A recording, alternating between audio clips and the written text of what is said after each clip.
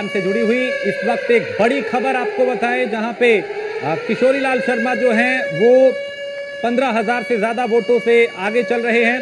जबकि अब उत्तराखंड की पाँच सीटों की बात करते हैं। उत्तराखंड की पाँचों सीटों पर बीजेपी के प्रत्याशी अभी आगे चल रहे हैं। यह उत्तराखंड की तस्वीर है। नैनीताल सीट पर अजय भट्ट एक लाख सोलह हज़ार चार सौ छियासठ वोट से आगे चल रहे हैं। जबकि अल्मोड़ा सीट पर अजय टमटा उनसठ हज़ार सात सौ बावन वोटों से आगे चल रहे हैं। उत्तराखंड की पाँचों सीटों पर भारतीय जनता पार्टी के उम्मीदवार अभी बढ़त बनाए हुए हैं और एक बड़ा अंतर दिखाई दे रहा है। और ये बड़ा अंतर जो है, हरिद्वार सीट पर भी त्रिवेंद्र रावत पच्चीस हज़ार पाँच सौ अट्ठाईस वोटों से आगे चल रहे हैं।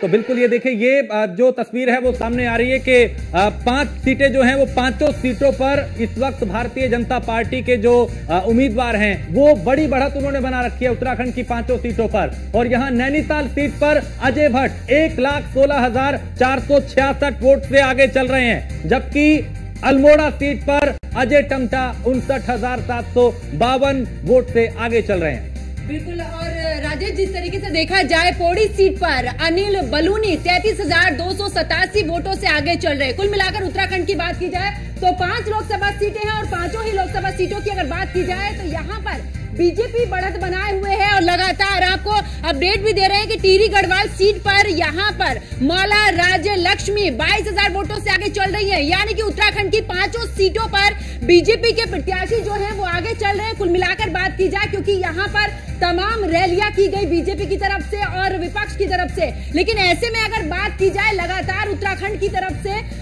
बीजेपी जो है बढ़त बनाए हुए है, क्योंकि इस दौरान तरफ़ से तमाम कैंपेनिंग भी की गई है और ऐसे में, देखिए, बड़ी खबर सामने आ रही जहाँ पर इलाहाबाद से बीजेपी के नीरज त्रिपाठी पीछे चल रहे हैं। उत्तर प्रदेश की आपको अपडेट दे देते हैं जहाँ पर फिरोजाबाद की अगर बात की जाए तो बीजेपी के विश्वदीप सिंह पीछे चल रहे हैं। यानी कि कुल मिलाकर उत्तराखंड की और उत्तर प्रदेश की आपको जानकारी दे रहे मेनका गांधी जो कि सुल्तानपुर से हैं और इस दौरान वो भी पीछे चल रही हैं। कुशीनगर की अगर बात की जाए, स्वामी प्रसाद मौर्य पीछे चल रहे हैं।